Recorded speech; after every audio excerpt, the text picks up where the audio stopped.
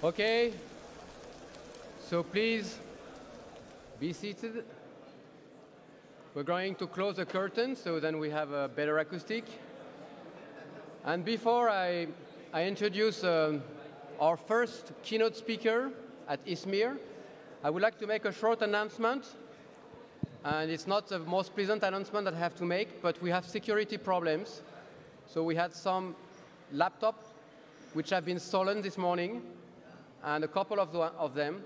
So we are going to have more security to secure the place, and we should have two security guards at the entrance of, of, uh, of, the, of the building, not of the building, of the room, of the amphitheater. So please wear your badge at all time because it's the only way for them to check that you are um, uh, one of uh, the ISMIR attendees.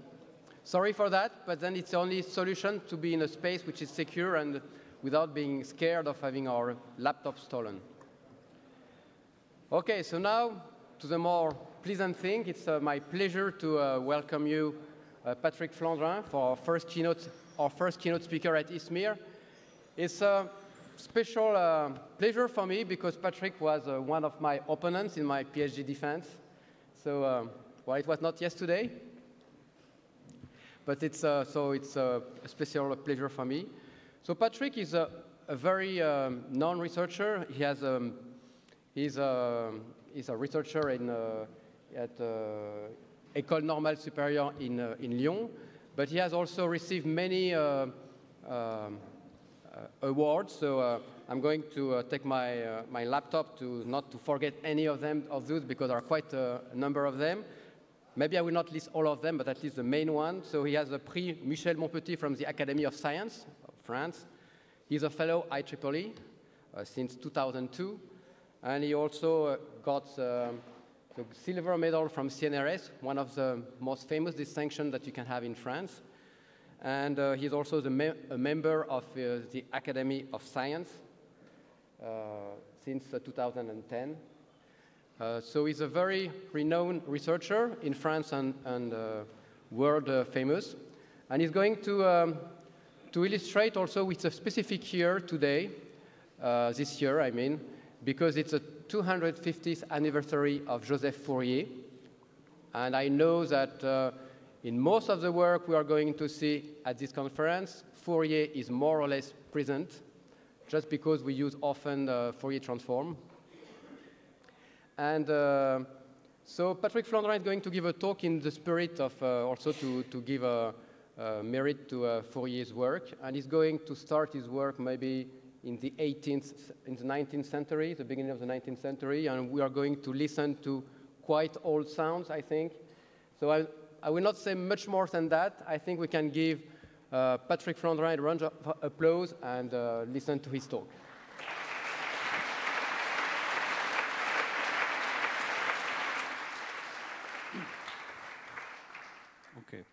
Okay, thank you, Gael. Thank you very much for uh, the nice introduction, and thank you for the invitation. In fact, I'm very pleased to be here for giving this talk uh, with this audience, which is not exactly the community I'm dealing with uh, every day, but I'm very pleased because there are a lot of possible interaction between the kind of research uh, I'm doing and the kind of applications you have as well. So wh what I will uh, do in this talk is something which is not really technical, and I just wanted uh, when I was proposed to, to give this talk to precisely uh, talk about a little bit of Fourier, but more than Fourier, because that's the Fourier year, so it's important to celebrate Fourier because we have to remember that without Fourier we would be uh, we would have much more difficulties to do a lot of things that we do every day, but also to think about ideas which go around Fourier, with or without Fourier. And uh, it will be more clear in, in, in, the following. And this is more an historical perspective on some aspects, and hopefully with some echoes in what we are doing today and we can imagine to do. And maybe it would be a, a way of thinking of different approaches to uh, problems, be they theoretical or, or practical, which are related to at at large audio signal processing. So everything starts with Fourier. So you know that Joseph Fourier now was born in 1768, so this is a 250th birthday this year, and Joseph Fourier was really an amazing character. He's one of the giants of science, even if it's not as famous in the large audience as, as it should. But Fourier is everywhere. But it's not only uh, the Fourier we know, it's also a much more complex character because it's a political figure. So I guess that most of you know that he played a major role in the French Revolution. He joined Bonaparte, and especially he was a key member in the campaign which was in Egypt. And back in France, he wrote a beautiful introduction to this uh, to the book, which was uh, some kind of extremely large book related to the description of Egypt. And uh, Fourier was instrumental in that, not only by writing the thing, but also by coordinating the efforts which have been made in Egypt. And after that, he was, of course, appreciated by Bonaparte, and he was made uh, préfet governor of the French province of Isère, where also he played a very important role of political administration and uh, running with new ideas, ideas related partly with science, especially introducing some statistical ideas in the way of dealing with water and things like this. And this was really a major activity for Fourier. But meanwhile, he was also a true scientist and a very distinguished scientist. And even when he was a governor, he, made, he conducted experiments, and this was during this period that he achieved what, she, what is his really major work, which is a theory of heat, and which eventually led to harmonic analysis. And there are two dates here because even if the uh, experiments were conducted a little bit before, in uh, 1807, something like this, the first draft of the manuscript was submitted to the French Academy of Science in 1811, but it was only really published 11 years later for a number of reasons I will not explain here, but there was a, some kind of a gap in between the initial ideas and the publication. Nevertheless, he was recognized as a distinguished scientist and he was elected member of the French Academy of Sciences and he eventually became what we call secrétaire perpétuel, perpetual secretary of the academy, which is one of the highest position in the academy. And clearly, he was somebody who, at that time, has really a vision of science which is extremely modern as compared to what we are doing now. Not only because we have bright mathematicians who are doing uh, politics, but uh, also because he was really a father of, the, of what we call now the mathematical physics, making a bridge in between theories adapted to physical problems, creating new mathematics, and also some kind of vision of there was a need for having things computable. And at that time, it was far before computers, but it was really something which we could now, if he had the, the, the, the means of achieving this program, which we call computational physics, of, of computational mathematics. And clearly, if you look at the Fourier, uh, the method that Fourier developed, they're really everywhere. And it's hard to find numbers, but uh, I heard uh, someday that every minute, something like one third of the all the computation done on all the computers all over the world are just computing Fourier transforms. Because Fourier transforms are really in all the transforms which are used for coding, for communication, and for science and not only technology. Okay, so Fourier is really famous for this theory of heat and harmonic analysis, at least in our field. And the main claim, if we want to summarize, is just that any function can be represented as a superposition of sines and cosine. So this may sound a little bit uh, obvious now, but it was a long way for having something correct to say about this. And amazingly, uh, the theory of Fourier really emerged from the analysis of the heat problem. So how to write an equation for heat, and for that he, he derived the correct mathematics, but he was never really interested in other forms of things like vibration and acoustics, whereas it seemed to be a natural domain where to apply these ideas. In the, in the main treatise, there is one sentence at most, which said that the same kind of idea could be of great benefit to what Bernoulli tried to do. That's it. So it was just one, I think he was not interested in, in, uh, in, in, things like acoustics, or maybe he had no time to, to do that. Whereas there had been a lot of effort before, precisely with guys like Bernoulli, D'Alembert, and Lagrange, and after. Because after, if you see the gap, I will come back to this a little bit later. Uh, let's say that the theory was known in 1822. Uh, you have to wait at least 20 years later before people's quote, in some sense, Fourier's work in some application, like, for example, Ohm, and uh, we, in reference with the acoustical physiology of, uh, uh of uh, physiological acoustics of Helmholtz. Uh, I will come back to this later. So that's a little bit surprising that there is some kind of absence of acoustics in, in, in Fourier work. Okay, so now, in practice, Fourier decomposition, I was telling you that Fourier was really uh, interested in having possible applications, concrete application of his ideas, even if he had no real ways to do that. And of course, later, there had been in the, in the 19th century and in the 20th century a lot of ways of putting Fourier decomposition in action. And I quote this uh, famous uh, sentence of Bachelard, who said that uh, les, les, instruments sont des théories matérialisées, instruments are reified theories. And if you think of the ways of refining uh, theories before computers that now seem to be the most easy way to do that. You can think of many things. We can even think of optics because in some sense uh, just an optical lens is performing a Fourier transform.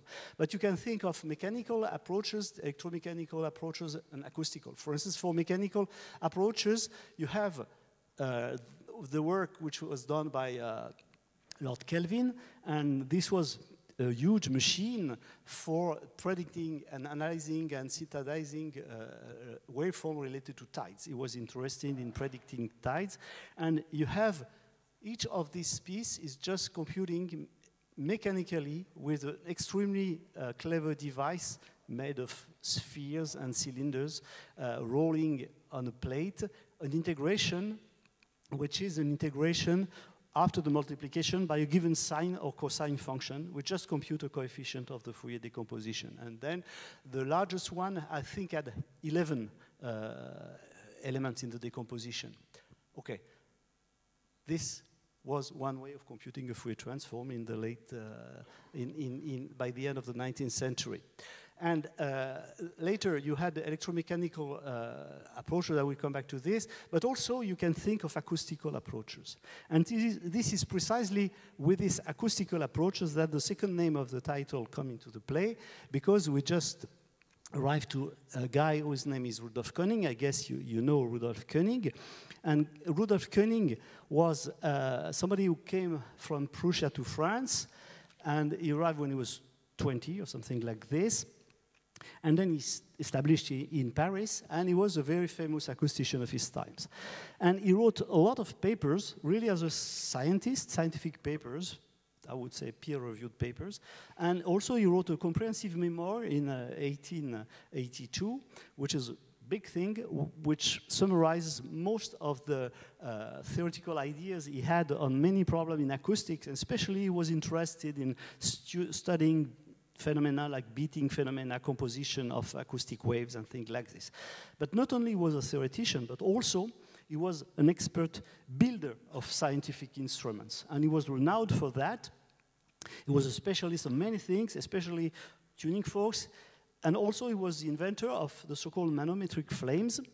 And this was only some of the many inventions he made, because if you look at the catalog he had, because he was selling, of course, his products, uh, you have 272 items in the catalog of 80, 80, 1882, which is quite big. It's interesting to have a look at this catalog because you really have, a, uh, I will give the reference at the end, you have really have a lot of different devices which are extremely clever.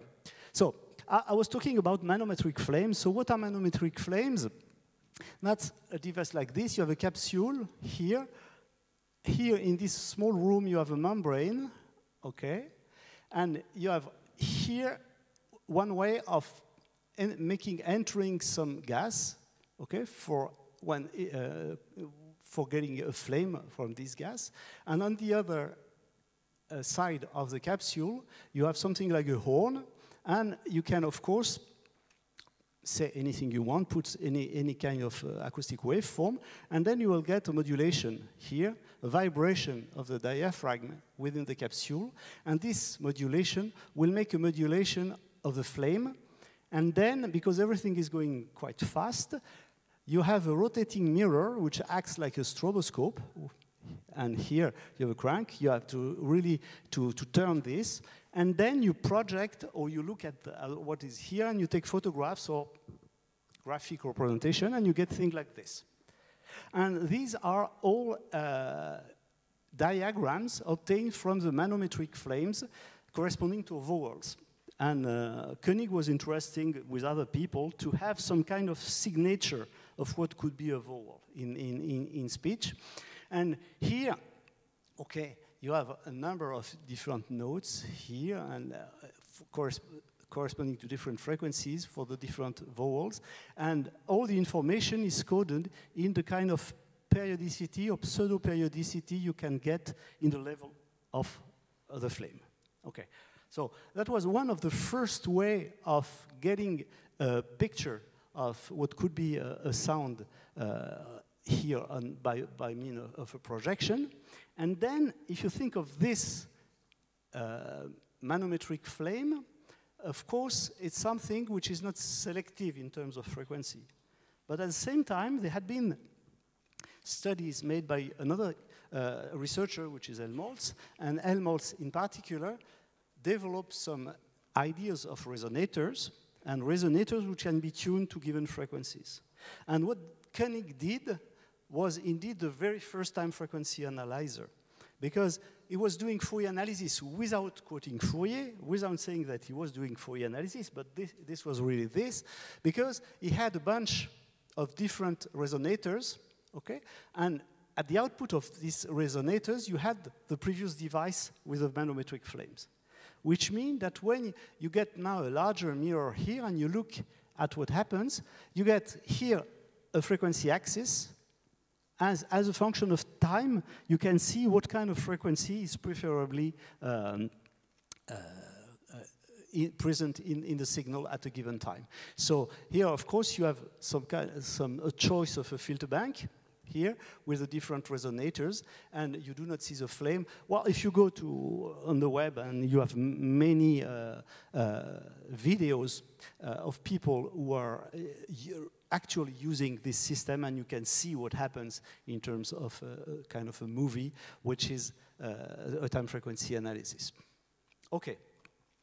So now, of course, I was mentioning uh, some avatars of this kind of technique, and among them, uh, there is one which is extremely similar in the spirit, except that rather than using uh, acoustics, you are, you are using directly some uh, electromechanical system, and which is a sonograph. And it's funny, that's also another Koenig who derived the, the sonograph. That's not the same because it was uh, uh, 80 years later, okay? But you have the same kind of idea because you just replace the different resonators by uh, uh, different filters, which are only one filter which is uh, varied by an heterodyne frequency analyzer here, but when the recording on the turntable is playing again and again and again, then you have the different filters which are uh, used, and then you have on this electrosensible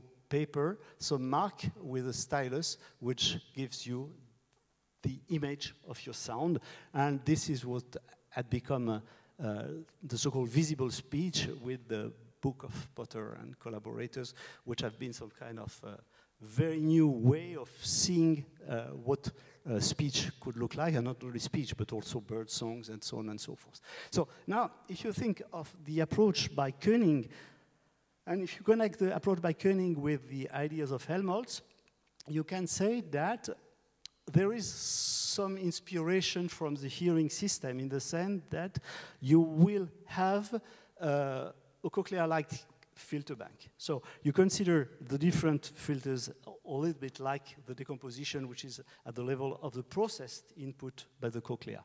But you can also think a little bit ahead and, and think about the raw signal, because uh, first, before being dispersed by the cochlea, then you have just a waveform which is impinging on the eardrum, and you can think of mimicking what is received by the eardrum and make use of this for having another form of drawing uh, for, for a speech signal or for uh, audio signals.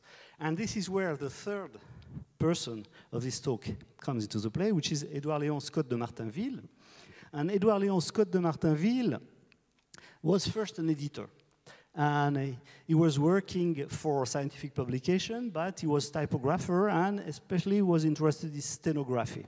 The way of having a graphic description of what is said. Okay. And at the same time, he was an inventor. And as an inventor, precisely because of his practice of stenography, he wanted to go beyond state-of-the-art uh, current limitation of stenography. And in one of his uh, uh, writings, he said that one day he had this imprudent idea of photographing the world. And this was really what he wanted to do. He wanted to get in some kind of more objective way a photography of a word, which could be used as a signature of uh, what is not only the meaning of the word, but also the intonation and the, and the, uh, the phrasing and the way it is really pronounced. But at the same time, he was an outsider as compared to other scientists, not speaking of Fourier, but also of, uh, of Koenig. And so he had limited interaction with academia, which was kind of a, a, problem. And in some sense, and we'll show later, he had been shadowed by other people. Okay, so if you look at uh, Scott's agenda in uh, 1857, uh, he submitted a document to the French Academy of Science where he said that y a-t-il une possibilité d'arriver telle la photographie, which is just this. Is there a possibility of reaching, in the case of sound, a result analogous to that attained at present for light by photographic processes? Can one hope that the day is near where the musical phrase escaped from the singer's lips will be written by itself and as if without the musician's knowledge on a docile paper and leave an imperishable trace of those fugitive melodies which the memory no longer finds when it seeks them? Will one be able to have placed between two men brought together in a silent room an automatic stenographer that preserves the discussion in its minutest details while adapting to the speed of the conversation? Will one be able to preserve for the future generation some features of the diction of one of those eminent actors, those great artists who die without leaving behind them the faintest trace of their genius? So this is quite a program. So this is exactly what he wanted to do. And for doing that, he precisely processed by trying to mimic uh, what, what is going on in the hearing system at the eardrum level. And in the early attempts, which were in the mid uh, 19th century, the system was quite uh, elementary because it was exactly that. You had a horn, and so you were speaking in the horn. Then you had a membrane, which is vibrating, corresponding to the vibration received by, by it. And at the output uh, uh, here, um, linked to this membrane, you have a stylus, okay? And then you have a lamp black plate, and the lamp black plate is just moved like this, and then depending on the vibration received by the membrane, as transcribed by the stylus, you get some figures. Okay, so first results were like this. So in some sense, it calls for improvements because it's nice. Uh, here is written by Scott, Parole, and here, the guitar, okay? Um, Euh, premiers essais de fixation d'un son remontant à trois années exécutés sans aucun instrument. So first trials to, to fix a sound three years later, uh, before, that was when he submitted this uh, to the French Academy of Science, uh, just by means of his. So it looks more like uh, Cy Twombly's uh, uh, design, drawing, than a real sound, so it's not that easy, but there is something. And so, since there is something, and it seems not to be necessarily something hopeless, Then he called for some advice, and he went to Koenig, Rudolf Koenig, who we saw before, and he started a collaboration with Koenig. And the collaboration was both good and not so good. First, it was good because they really created now a better device, which was called the phonautograph. And the phonautograph dates back 1859 and is essentially a barrel. Here you are speaking by here. Then you have the membrane, the stylus, and yet, then you replace the plate by a cylinder, rotating cylinder. And because in the rotation, the, the cylinder is, is moving uh, in this direction, you get a, a much longer uh, tracing, which is just enrolled on, on, on the cylinder. Okay. And uh, what Koenig did was really to manufacture something which was a good device. And also, he put some uh, interesting improvements. For instance, he had this idea, because of the rotation, which was a manual rotation, he put the idea of recording at the same time something coming from a tuning fork. You knew exactly what was the regularity of the tuning fork and the oscillations, and then afterwards you can compensate and you can do some, uh, some time warping, which is just for an adjustment in terms of the analysis if necessary. And here is an example where you have the tuning fork here, signature, and here you have some, some signal coming from, uh, from, uh, from some speech. And then almost immediately, Koenig, who was really much more a businessman as uh, uh, Scott was, obtained the exclusive license to manufacture the phonautographs and to use them and sold them for scientific instruments. So he constructed dozens of those instruments uh, that were in different parts of the world for people really interested in what we call scientific experiments. Whereas Scott was not in this business. He was interested really in what he called looking for words that wrote themselves.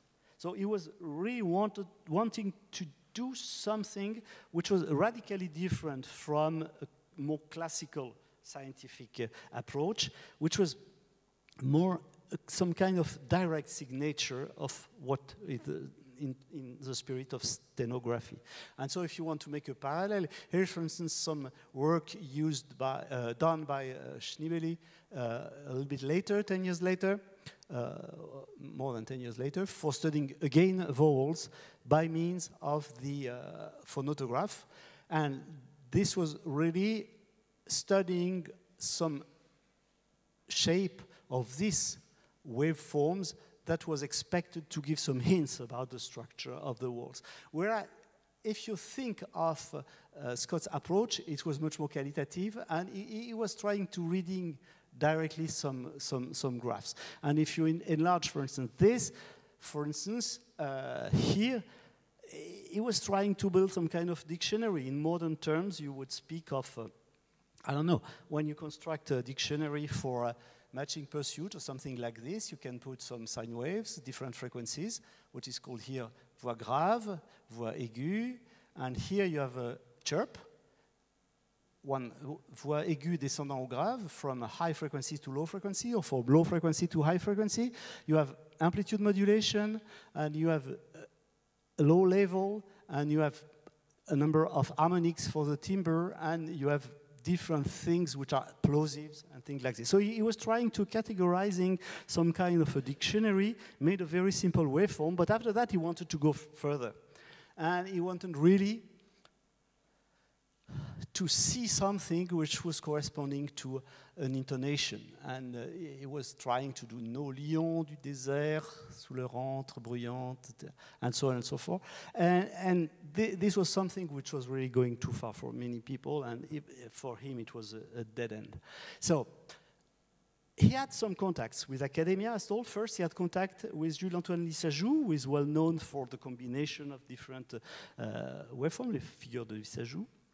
Okay, and at the beginning, Lissajous was very supportive of Scott, and even uh, supported Scott for uh, going to the um, to uh, with, with Koenig. But after that, he considered it was just a bad way. And Etienne Jules Marey, the inventor of the chronophotograph, for instance, was even more severe because he said that l'insuccès fut complet, which is uh, this was a total failure. And so Scott tried a little bit to do more, and first, uh, I told you that he had submitted a sealed manuscript on the principle of photography to the French Academy of Science, which was a way of getting recognition, well, getting a date for, uh, for an invention. But so when he saw the way where, where the things were going on in 1861, when he split with Koenig, he asked for the opening. And at the same time, to make public the, the discovery. And at the same time, he deposited several examples of recordings. And then he just quitted. He had a new life. He gave up photography and he went back to, to uh, typography and bibliophilia and things like this until 1877, where Edison's phonograph popped up. And at the same at that time, he was very upset because nobody was referring to the idea of uh, Scott when talking about Edison. Of course, Edison was able to reproduce the sound, which uh, well, Scott was not able to do. And so he wrote a new book, Le problème de la parole s'écrivant, the problem of speech writing itself. That was an ultimate try to get credit for his key role, and he, he died one year later. So, nevertheless, if we go back to the recording that he deposited, it was not so bad because thanks to Koenig, you had some pretty neat tracings. And in particular, on April 9, 1860, there was this famous recording of a song, Au clair de la lune, under the moonlight, which was the first ever recording of a human voice, and it was 17 years before Edison. But this was completely forgotten. This was in a drawer in the French Academy of Science, and that's it. Except that clever people, David Giovannoni and Patrick Feaster, in 2008, went to the French Academy, asked the permission for scanning the recording of Scott in Paris, and then went back to the US, where they digitized the sounds, and then they made some restoration. Because after all, you had this tracing, and this tracing is just kind of a photograph of a waveform like an oscilloscope. And it's easy in the principle, not so easy Uh, practically, but anyway, to get the whole waveform. And this is this kind of thing with an enlargement of one part. And when precisely you go, you do this and you play, you hear.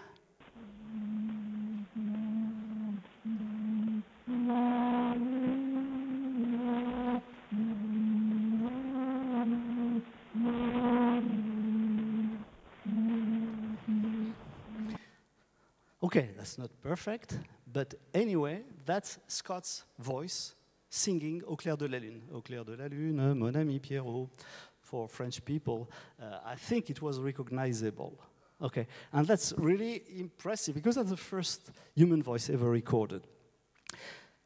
The interesting thing is that, uh, of course, uh, this was big buzz cover of the New York Times and things like this. But, but we can also think of uh, what uh, this may us think of in more modern terms. Because uh, I, I, was referring to Fourier, to Koenig, to Scott, and with Fourier you always have this problem of uh, modes uh, which are in between physics and mathematics, which was one of the problematics of, uh, of Fourier himself.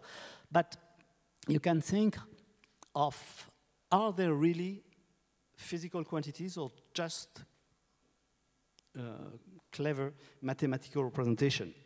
Which is an issue which, which comes naturally, for instance, when we, you switch from stationary situation to non-stationary situation, where Fourier modes are really uh, good from a mathematical point of view, but not really for describing the ultimate uh, structure of a signal. For Koenig, that's a little bit the same because uh, it was first transforming the sound before doing something else. And for Scott, it was this idea of directly jumping on the waveform rather than doing something analogous to the, filter bank of, of, of, the hearing system.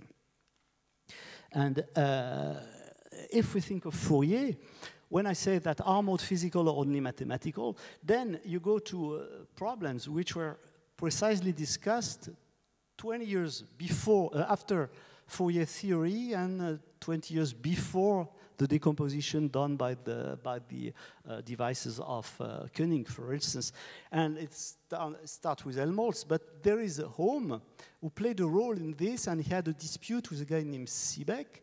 And Ohm has given his name to a famous Ohm's law in electricity, but also to a Ohm's law in acoustics, where he was really uh, he wanted really to prove that uh, he was trying to find the definition of a tone. What is a tone, and how the tone can be defined with or without the use of sine waves, and is composed of, of different sine waves. And so he, he made a number of experiments, a number of claims, and unfortunately he made some mistakes in some calculation, and, and the dispute was not really uh, successful because uh, uh, died shortly after, and the debate was closed without really uh, saying something about the existence of, objective existence of tones composing more complex uh, waveforms in an independent way, I would say, as in the Fourier analysis, because the question was, are the different terms independent or interacting? And so uh, this is a debate which happened in the mid uh, in 19th century, but this is something which surfaced again also in the 20th century, because I didn't quote here um, debates which have uh, at place took place in, uh, in quantum mechanics, for instance, where the, the issue was also to give or not an existence to Fourier modes when describing, uh, when describing wave functions, for instance. And if we think of this in, in more uh, recent terms, you can final, finally ask to uh, the question of should we stick to a Fourier decomposition when we want to think of oscillation in some sense? And or should we do something else? And so, for instance, you can go to something which could be dictionary learning. So, given some waveform, you try to infer some natural constituent which adequately, maybe in a sparse way, describe what you are observing. And then you can do that in a data-driven uh, way. And for instance, I refer here to a, um, a current of studies which we have seen in the last 20 years, which is the empirical mode decomposition, where we, the idea is much more to think in terms of oscillations rather than in terms of Fourier modes. Because what is more important, and this was the kind of thing which was discussed in the experiments of Ohm with the siren, where the, uh, the, the, signals were, where uh, the tone was described much more by time interval in between characteristic uh, points like, uh, for instance, you have hole in a, in a rotating drum, and no sign as, as, such, but you create something with a given frequency.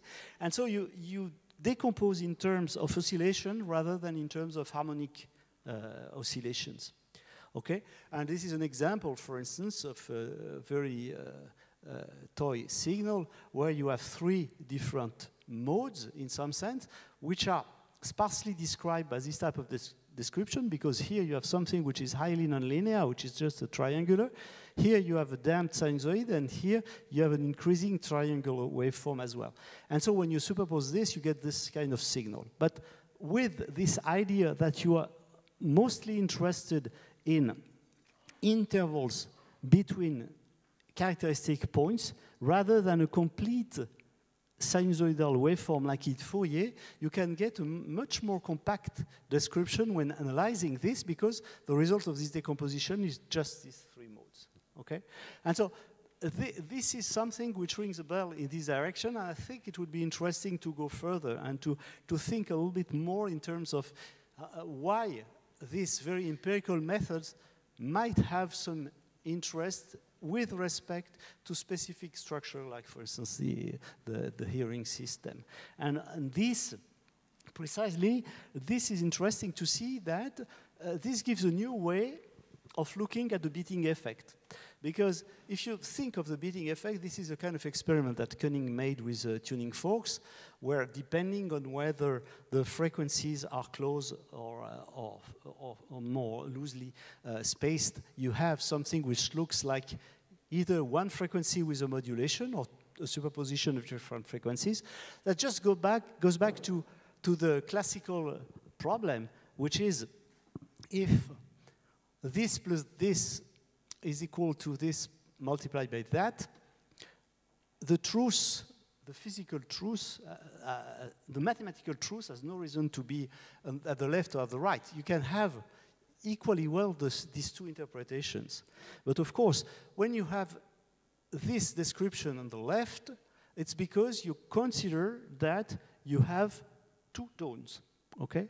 And on the, on the right, that's a little bit different because you can consider that you have one tone multiplied by something which plays the role of a low frequency envelope. Okay? And that, that's physics versus mathematics. That's two different ways of, of uh, seeing the same thing. And amazingly, when you look at uh, the empirical mode decomposition, and you look at something which is a very simple model for this, where you had even one extra degree of freedom, which is the amplitudes here, everything has been showed in this problem to only depend on the ratio of the amplitude and the ratio of the frequencies. And when you look at the criterion where you want to decide whether you are extracting or not the highest frequency component, um, for instance, by means of this technique, you see that you have a very, very uh, structured phase transition, which tells you that this is not the same depending on whether the ratio in between the amplitude is larger or smaller for higher fre or, or uh, frequencies or, or, or, low frequencies. And here you have a very regular curve on this half, but here you have something which has a more uh, sharp structure and you have no symmetry. And so, in some sense, because you, you have a data-driven representation, you let the representation decide what is best considering the way that this composition is done. So what is the a priori? That the a priori that everything is controlled not by a model which would be made of sine and cosine, but by something which reveal an oscillation in terms of intervals between uh, characteristic points. Okay, I could comment on this if you're interested. Now, uh, back to, to Koenig, I, I told that uh, the sound analyzer of Koenig was a time frequency analyzer indeed, because it was really looking at the temporal output of a logarithmic filter bank because of the size of the, of the different uh, Helmholtz resonator. So in modern terms, it would be something like a spectral-like image, maybe on a Mel scale or something like this for feature extraction. And this is common practice because you do not start uh, very often, you do not start directly with a signal. You first transform it from the signal to a time frequency plane. So this is uh, au clair de la Lune. This is a time frequency analysis of uh, the spectrogram of uh, au clair de la Lune. And then on given time span, windows, uh, you get some features, and from these features, you can expect to do some kind of classification, recognition, uh, comparison, everything you want.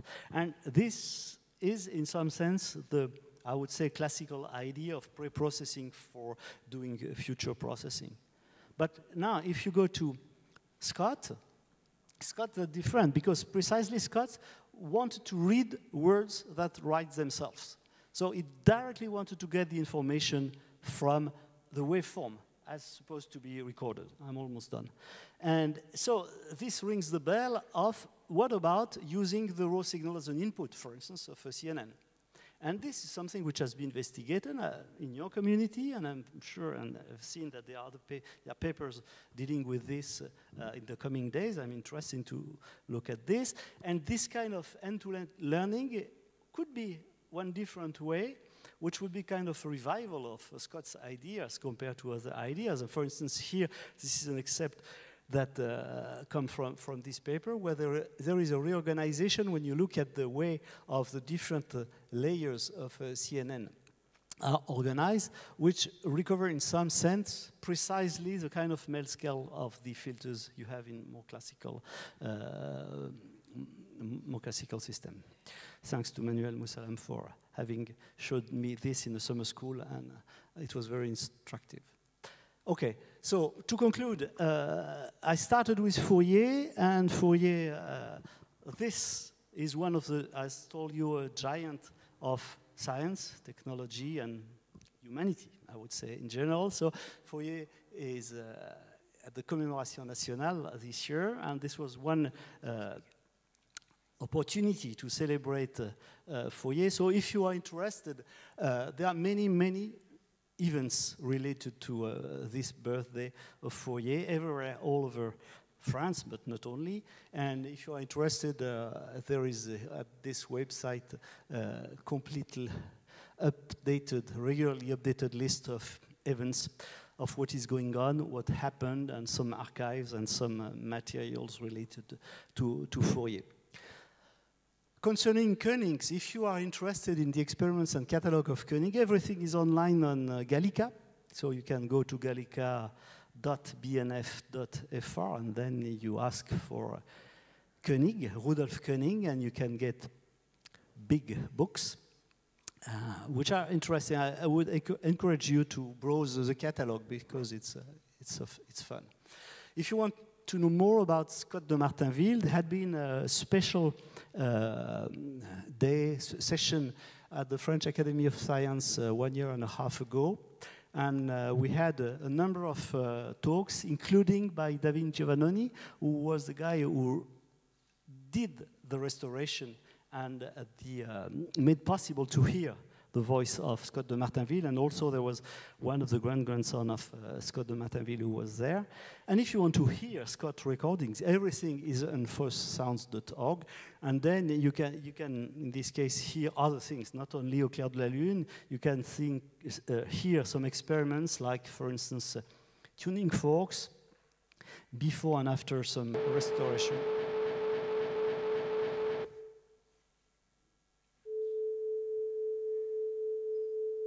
After some restoration.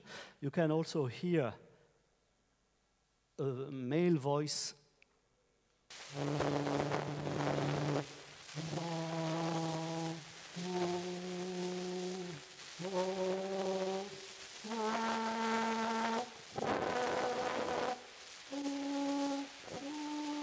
And you can also hear some uh, opera songs and baritones and also some guy singing a song I didn't knew, which was which is "Fly Little Bee Fly," which is one way of.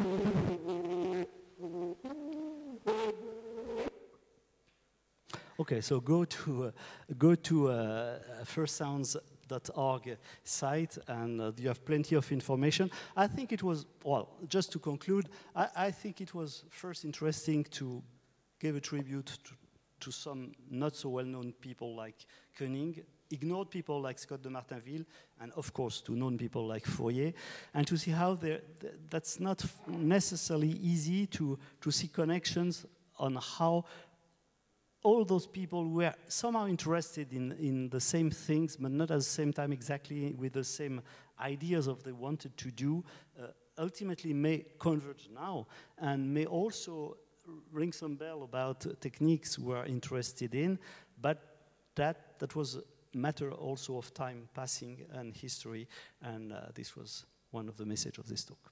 Thank you.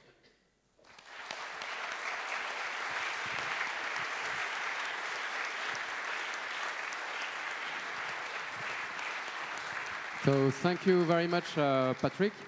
So I think you can take questions, right? So we are not in a hurry in having uh, many oral presentations in a row. So we have time for questions. So please raise your hand, and there are microphones in the room if you want to ask questions.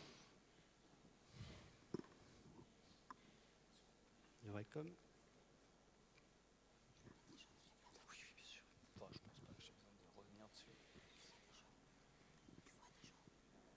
Patrick?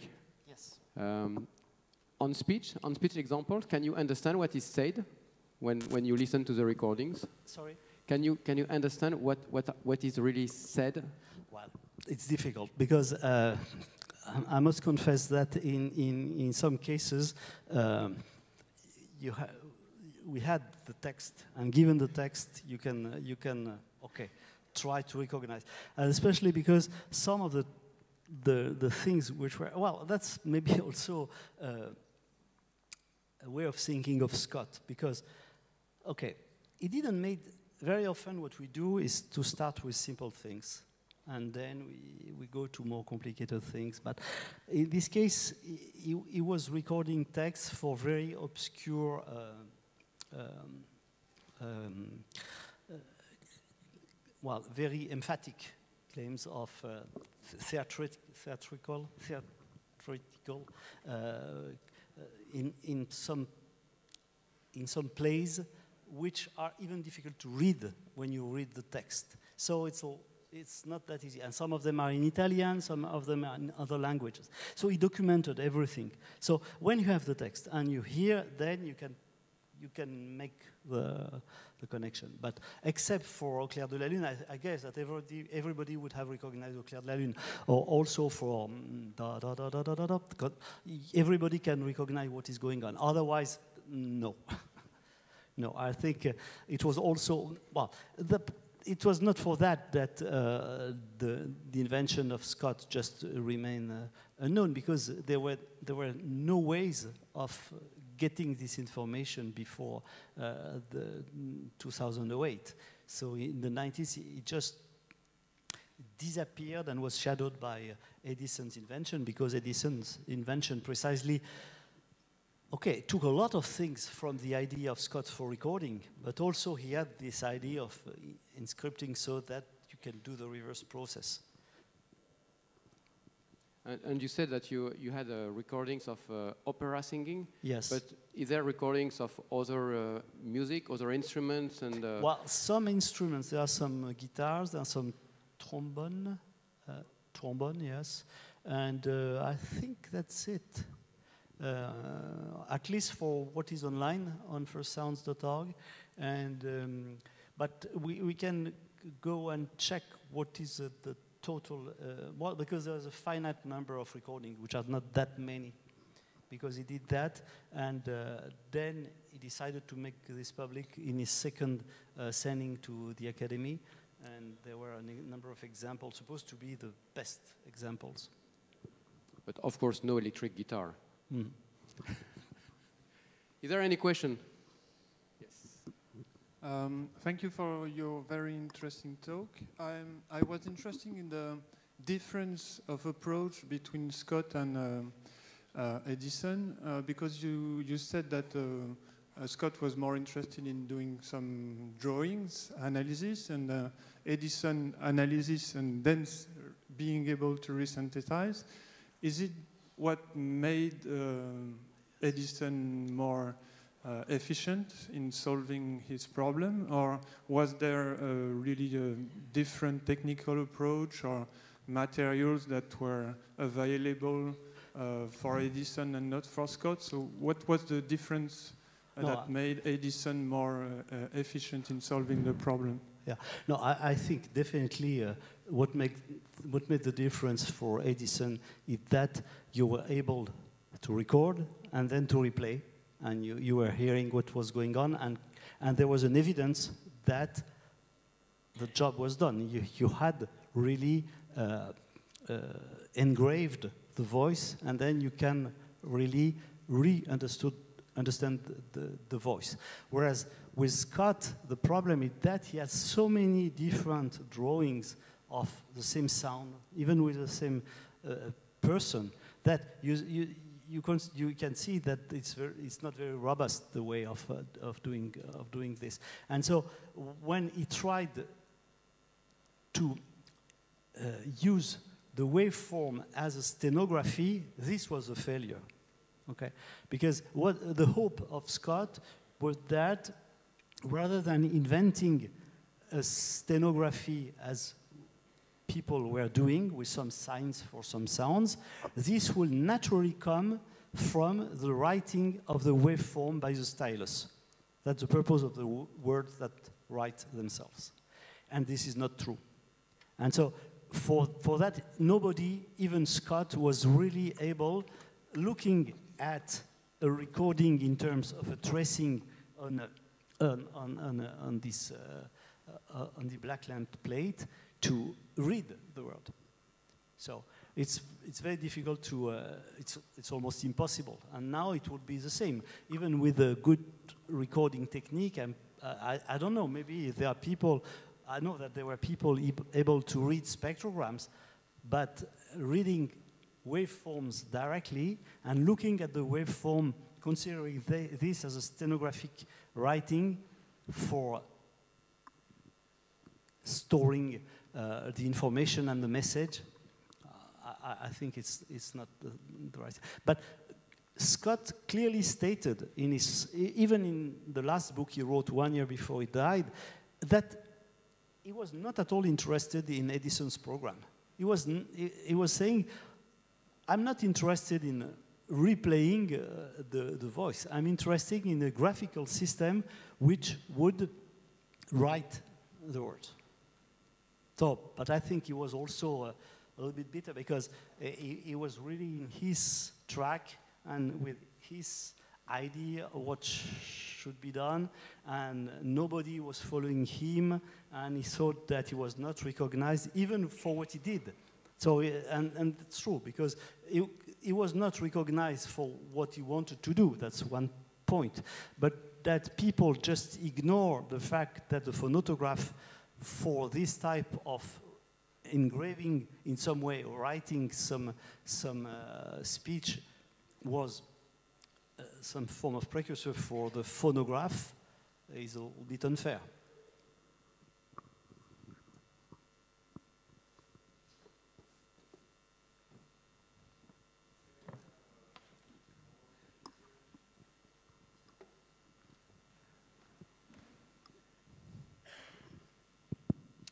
Thank you very much for the, for the talk. Uh, I was wondering when uh, Scott de Martinville derived his uh, kind of dictionary by hand, did he had in mind a, a kind of rationale like, like sparsity for designing his dictionary, or what was, did he make some assumption on how the speech was made? He didn't explain that he didn't explain that.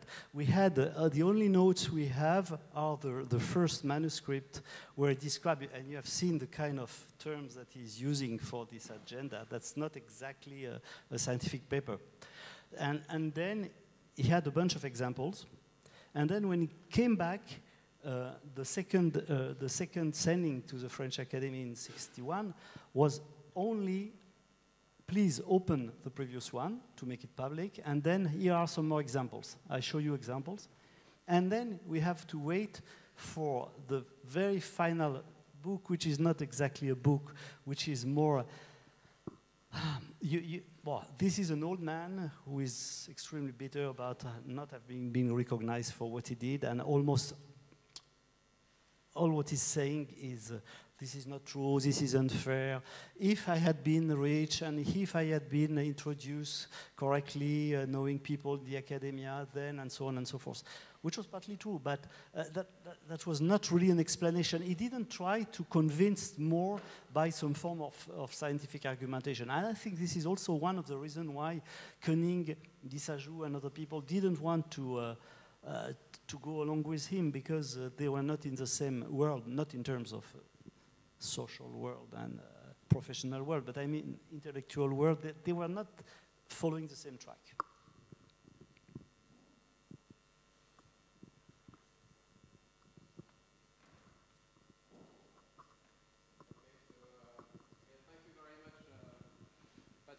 Thank you.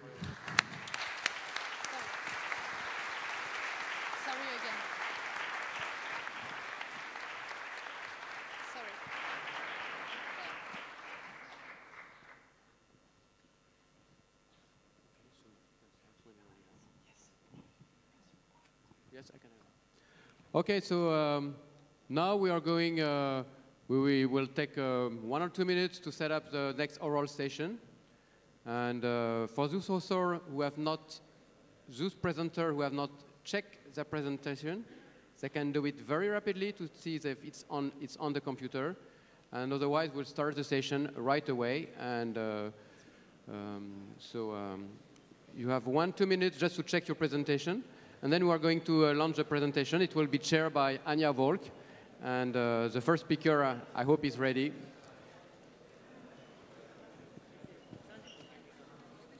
So you can use this one.